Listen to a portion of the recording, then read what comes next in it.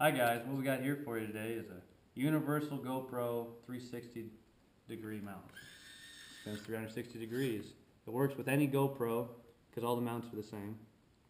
It's great for uh, changing camera angles while it's on the vehicle from a distance away or changing it without changing the mount around. You can change the position. You can just plug it in, move it, unplug it, give it a go, do what you want.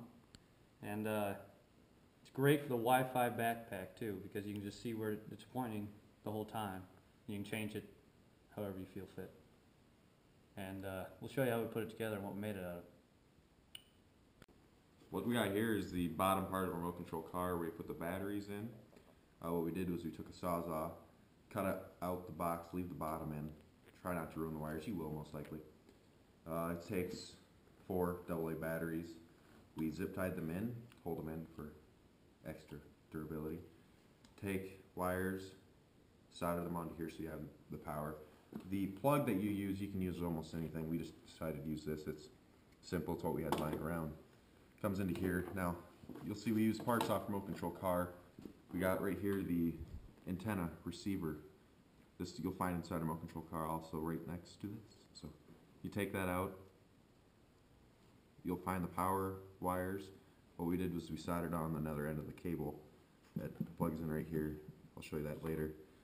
Comes out of there, you find the wires that run into, you could use the steering box or you can go to any store electronics store and you can find any type of motor.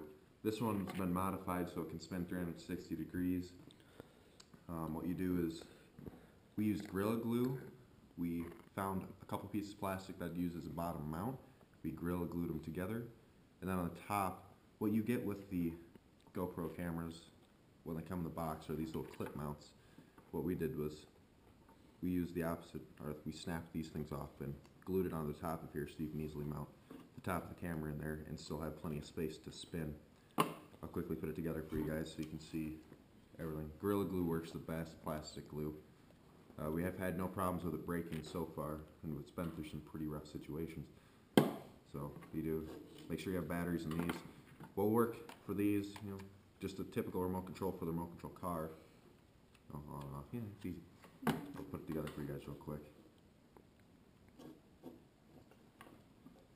snap this onto here so you guys I'm just going to use the plate that the camera comes with just snap it in just like that camera will go up sit inside there and you'll turn this on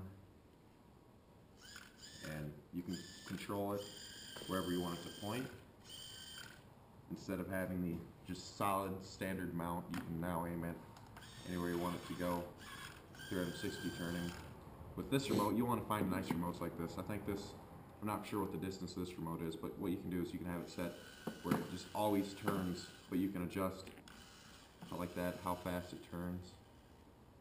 Adjust it to not at all. And then you can do this where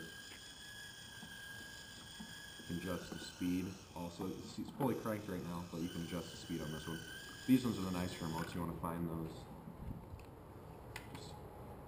It's always nice. Well, you're always going to ones you're going to want a quick disconnect in here also, because otherwise your batteries will be dead. There's a video on here. We'll post the link to it, or we'll add some clips in here with it. Uh, what it is is this. We had it mounted on our shark truck. You can see it. Uh, shark truck lives.